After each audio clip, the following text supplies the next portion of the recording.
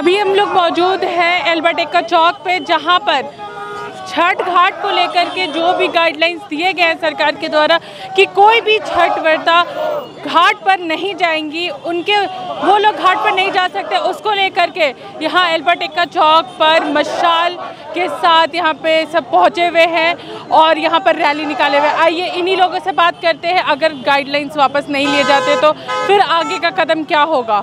से बात करते हैं।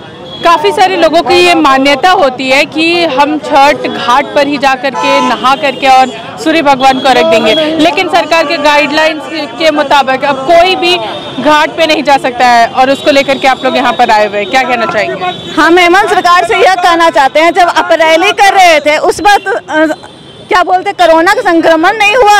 और आज आप हमारे छठ प्रवृत्ति को लेकर राजनीति कर रहे हैं, ये नहीं चलने वाला हमारे हिंदू संगठन में। और हमारे हिंदू को यदि आप उतावला कीजिएगा तो आपको कोई भी हेमंत सरकार को रोक नहीं सकते हैं। और हेमंत सरकार से ये भी हम कहना चाहते हैं, जितनी महिलाओं को आप हवा दीजिएगा, महिलाएँ आकर आप पर हावी होगी और छठ मनाने से कोई माई का लाल नहीं रोकेगा। और हम चैलेंज के साथ कहते हैं कि हमारी जितनी भी महिलाएँ हैं, रांची हो, झारखंड हो ऑल इंडिया में जितनी भी है, सब जाकर छठ व्रत मनाएँगे घाट पर ही जाके हेमंत भैया। आपसे अनुरोध है कि आपने जो डिसीज़न लिया है बहुत गलत लिया है और इस पे आप कार्रवाई करें और सोच विचार करके आगे बढ़े। बस यही कहना है। आइए अब एक और व्यक्ति से हम लोग बात करते हैं। छठ घाट पर जाने से मना कर दिया गया है। अब किस तरीके से क्योंकि सभी व्रती जो भी हैं वो लोग सबको मान्यता रखती हैं कि हम लोग छठ घाट पर जाकर के व्रत करेंगे। क्या कहना चाहेंगे गाइडलाइंस पर? देखिए बहन एक बात मैं बता देना चाहता हूँ। किसी माँ का लाल में औकात नहीं है कि छठ व्रतियों को छठ घाट जाने से रोक दे। आज हम लोग संकेतिक रूप में यहाँ पर मसाल जुलूस निकाले हैं और कल से अनशन में ही बैठेंगे। और सरकार अगर गाइडलाइन अपनी वापस नहीं करती है तो सरकार को हम लोग ईट से ईट बजा देंगे। जिस तरह झारखंड की सवा तीन करोड़ जनता ने झारखंड सरकार को मैंडेट देने का काम किया है, उस तरह झारखंड के एक एक लोग आक्रोशित है। घर की महिलाएँ आक्रोशित है। घर के छोटे छोटे बच्चे, जब से अखबार में ये बात आया है लोग उत्तेजित है। मैं दावा के साथ करता हूँ सरकार को जल्द से जल्द निर्णय को वापस लेना होगा नहीं तो सरकार भुक्त भोगी होने के लिए तैयार रहे।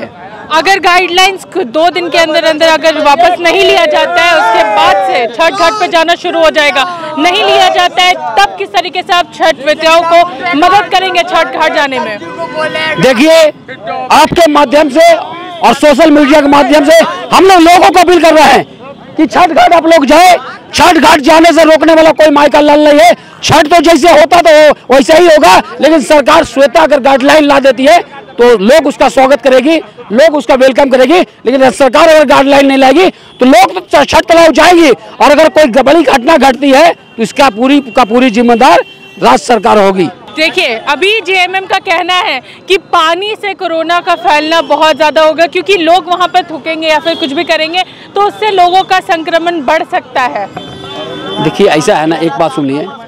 गाइडलाइन जो आया था ना तो उसमें सरकार ये गाइडलाइन में ये ये सक सकता था कि कोई उसको थूके नहीं, कोई कुली नहीं करे। ये गाइडलाइन हो सकता है, लेकिन ये कौन सा गाइडलाइन कि आप उसको रोक दीजिए?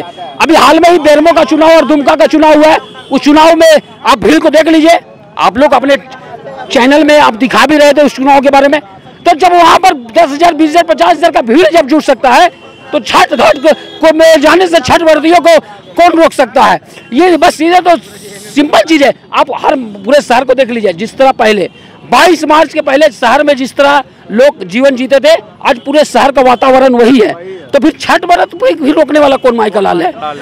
जहाँ पालन करना था, लोग पालन किया, दुर्गा पूजा का लोग पालन किया, दीपावली का पालन किया, रक्षाबंधन पालन किए, सावन जो बावले शंकर का सबसे बड़ा पर्व, अब महिलाओं और का बहुत बड़ा पर्व होता है। सावन में कोई बाबा धाम नहीं गए, कोई पहाड़ी मंदिर नहीं गए, कोई अमरनाथ नहीं जा पाया तो लोग, लोगों ने सरकार का गाइडलाइन का पालन किया। लेकिन अब गाइडलाइन की ज़रूरत नहीं है। लोग समझदार है, लोग को पता है कि किस तरह चलना चाहिए, लेकिन क्योंकि छठ व्रत झारखंड और बिहार का लोगों का आस्था का पर्व है और उगता हुआ सूरज का पूजा पूजा किया जाता है और उगता हुआ सूरज का पूजा करने से इस धरती में को रोकने वाला कोई माई का लाल नहीं है।